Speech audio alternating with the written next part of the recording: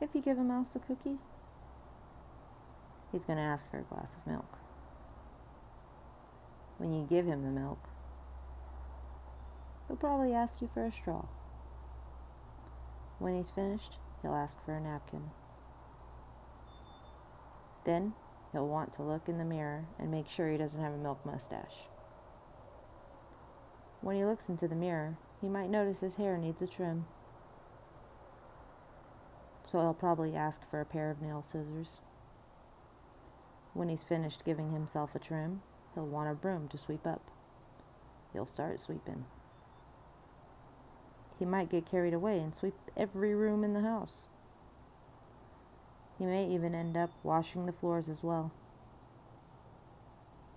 When he's done, he'll probably want to take a nap. You'll have to fix up a little box for him with a blanket and a pillow.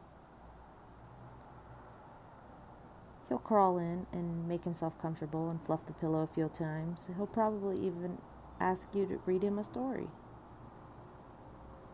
So you'll read to him from one of your books and he'll ask to see the pictures. When he looks at the pictures, he'll get so excited that he'll want to draw one of his own. He'll ask for a paper and some crayons. He'll draw a picture. When the picture is finished, he'll want to sign his name with a pen. Then he'll want to hang his picture on your refrigerator, which means he'll need scotch tape. He'll hang up his drawing, stand back, and look at it. Looking at the refrigerator will remind him that he's thirsty. So, he'll ask for a glass of milk.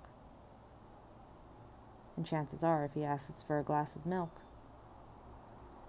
he's going to want a cookie to go with it. If you give a mouse a cookie, he's going to ask for a glass of milk. And that's only the beginning.